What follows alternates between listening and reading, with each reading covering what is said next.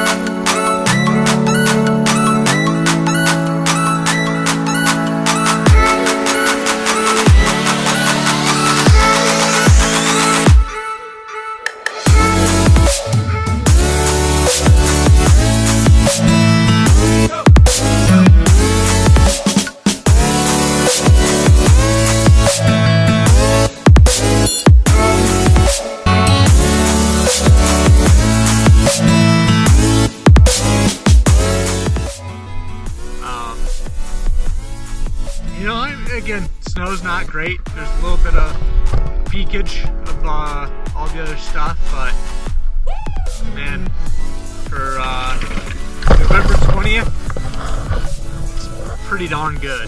Um, $49 to, to snowboard. It is a great deal. Um, plus the views. Look at that. Can't beat it. Washington, so far I'm impressed.